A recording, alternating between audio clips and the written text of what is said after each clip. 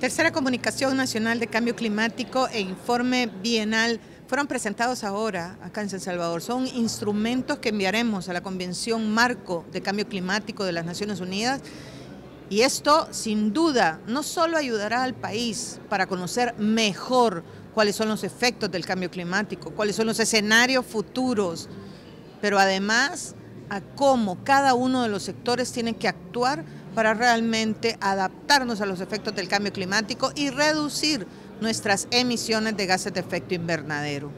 Esta información está accesible en nuestra página web del Ministerio de Medio Ambiente. Visítela.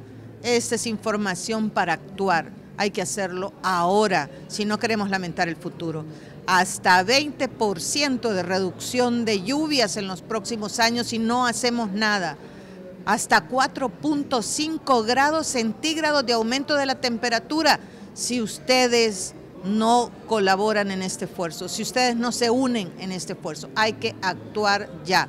Si queremos preservar el agua, el clima, si queremos tener alimentos, si queremos evitar las enfermedades, si queremos tener energía barata, todos debemos actuar en este esfuerzo para enfrentar los efectos del cambio climático. Visite nuestra página web www.marn.gov